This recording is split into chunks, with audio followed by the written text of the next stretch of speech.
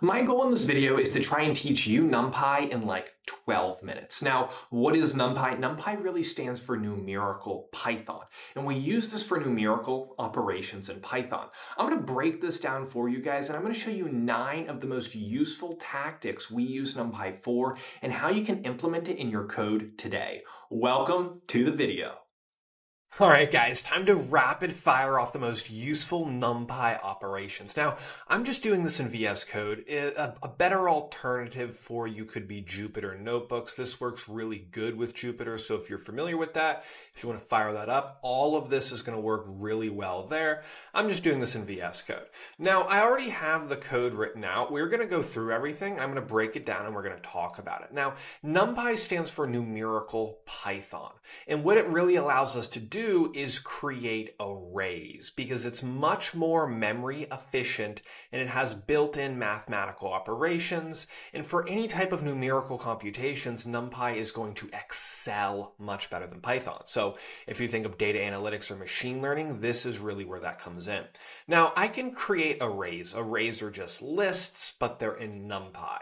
So just think about that.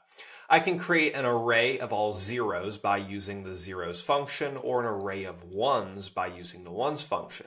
Inside, I'm just putting how many elements do I want to be in this array. Now, if I print this off, we are going to see two arrays lists printed off, but it's going to look very different. You can see here I have my lists printed off, but what is this data?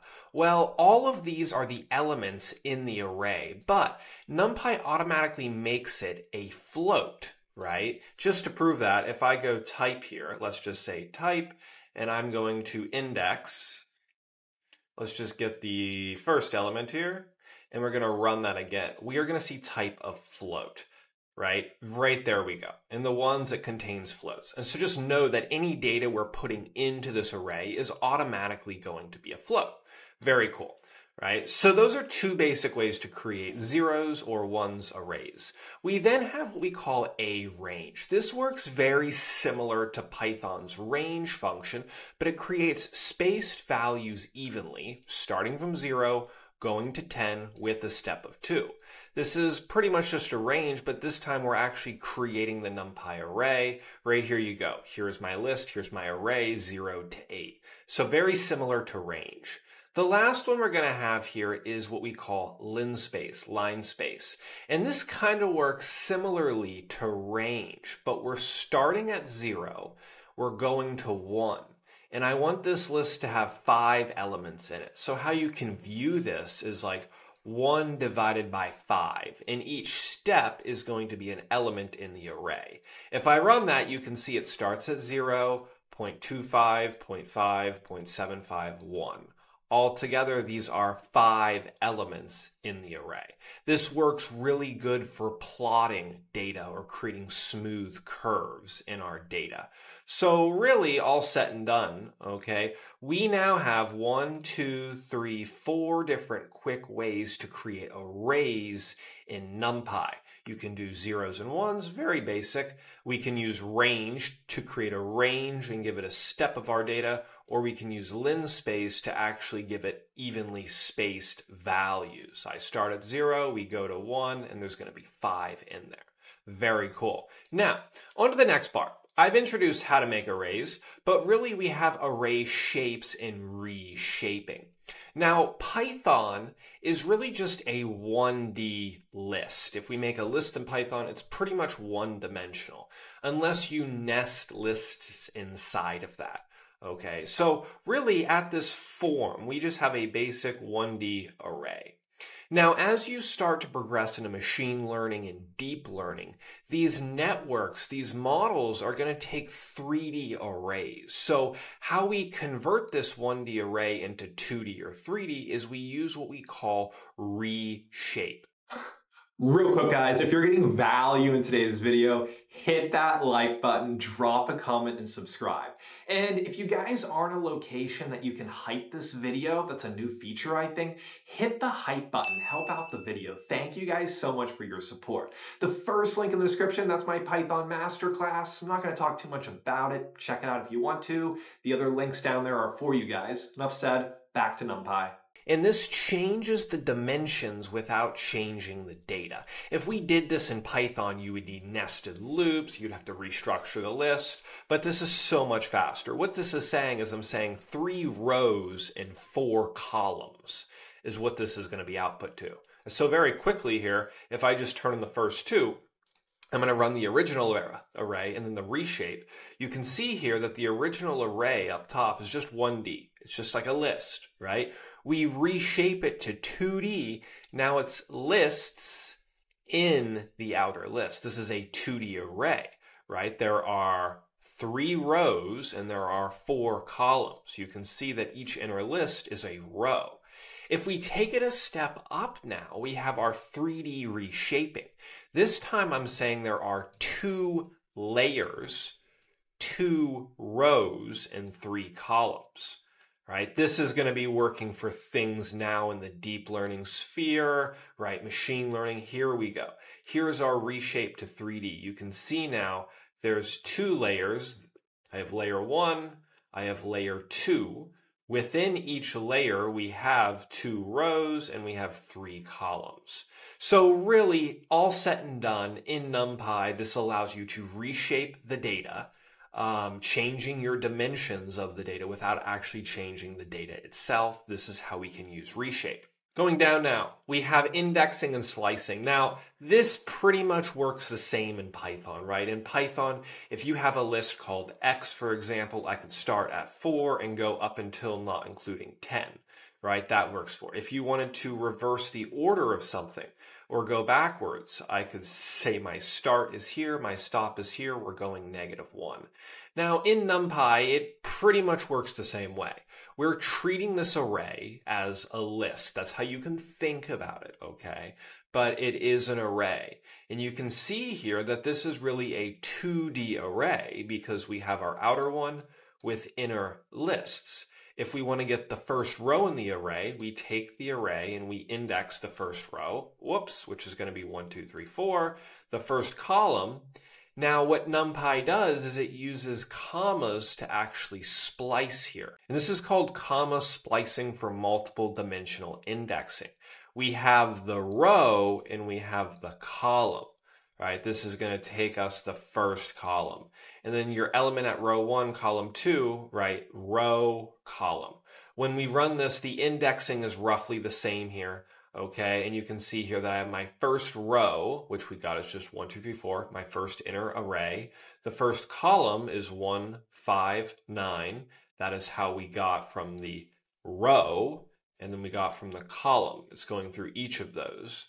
And then the element at row one and column two, row, column, which is number seven.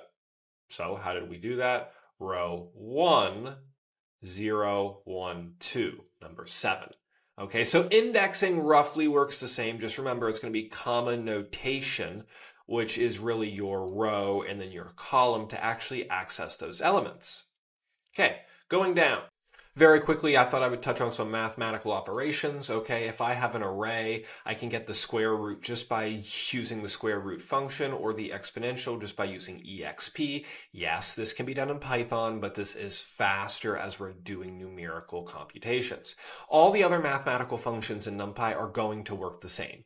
You can add numbers, multiply numbers, all of that is the same, okay? Um, and you can still do that. If we're trying to find the square roots and the exponentials are raising to a power, right? This uh, are the two functions that we're going to use for just faster computations. Now, these do output a new array of that data. If we get the square root, square root of these numbers, you can see it's outputting a new array of data. Same with exponential, okay? And so anytime we're mutating this, we're really creating new arrays. Great.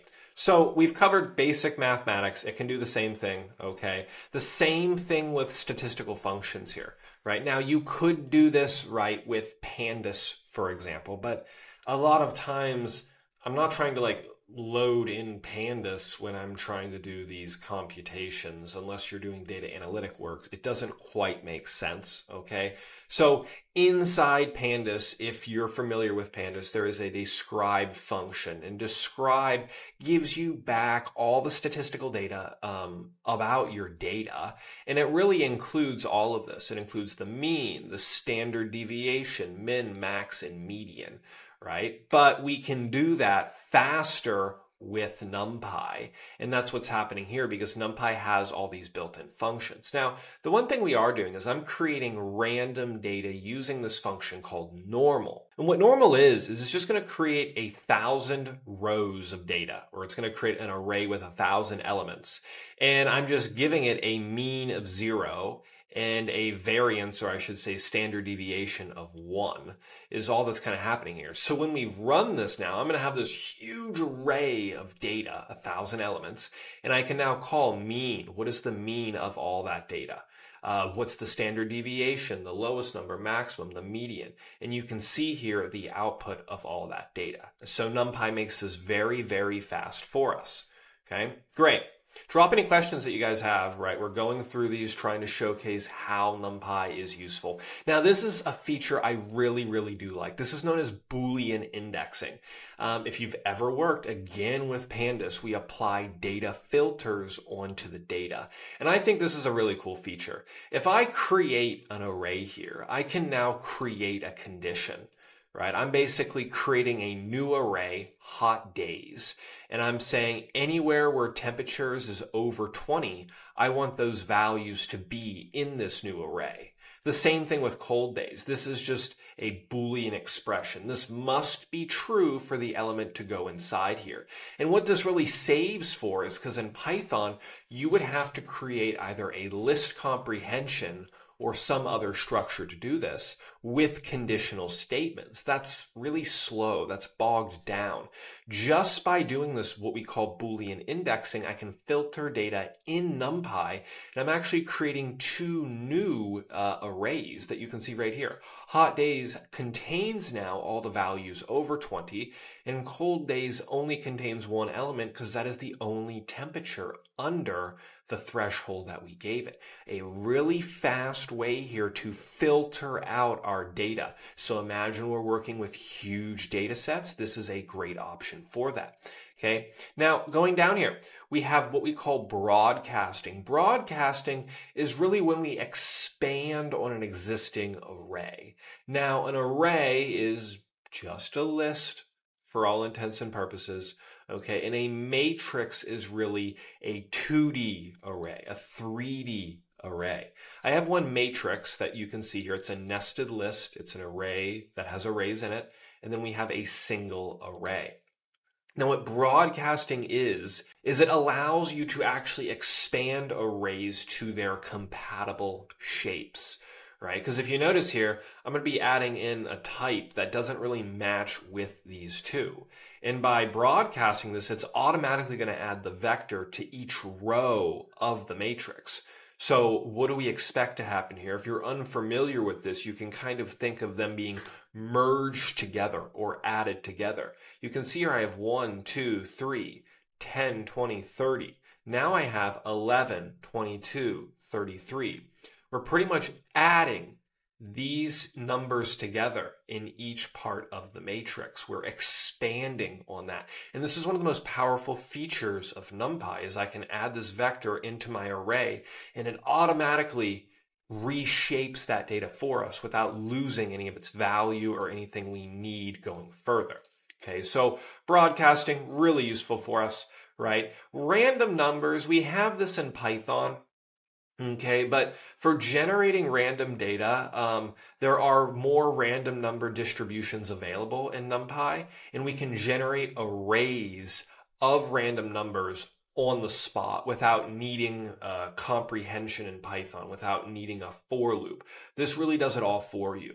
We still have random, okay? We still have random. This time random is actually going to give us a number between 0 and 5 as a decimal we still have choice, okay? And what I'm doing up here is we're accessing the random module in NumPy and we're saying seed. This is for reproducible results, okay? Results that I want to continue to reproduce. Now, what do you expect when we run these? Pretty much the same thing we're going to get with random. Okay, you can see here that I now have a list of random integers. There's five. I have a list of random floats between those, and we have a list of random choices, okay, in that order. So super straightforward. It is just going to compile faster. It's going to work better faster when we're working with random numbers. We should be implementing NumPy. Now for the last tip here is array concatenation. What am I even saying? Concatenation. Really just combining data. When I get talking so fast, words come out. Okay, we have two simple arrays, right? And all we're doing here is I'm utilizing three different NumPy functions. We have concatenate, combine. Okay, we're just merging the two together horizontally. We can stack the arrays vertically, or we can stack the arrays horizontally. Now, this is going to look different based on the needs of our data. So really, boiling down to it, you can see we're just merging it. If I'm doing concatenate, I'm just adding two arrays. Stacking vertically, we are literally making a 2D matrix. And then also horizontally, this functions pretty much the same as when we merge the data sets. We concatenate between them, okay? Um, but this is a side-by-side 2D structure. This is still a 1D structure. Guys, those are some of the most useful NumPy operations. And if you thought any of them were helpful, hit that like button and drop a comment. Did I miss anything? If I did, let me know. And what did you find helpful from this video? And that's a wrap. That is, jeez, my God. okay, hello, testing. All right. Guys, that's a wrap on this video for Numerical Python. I hope you guys got value in this video. This was a lot of fun. I've used NumPy before in my content, but never just a video dedicated to it. But I hope you can see why it's so useful and how we can now use that any type of numerical calculations or work you're doing, it's going to speed up your flow immensely. Um, I hope you guys enjoyed the video. Okay, let me know your thoughts in the comments. Hit that like button, hype the video, subscribe. That means the world to me. Thank you guys for being awesome. And I will see you in next week's episode of Code with Josh. Until then, Python crew, I will see you then.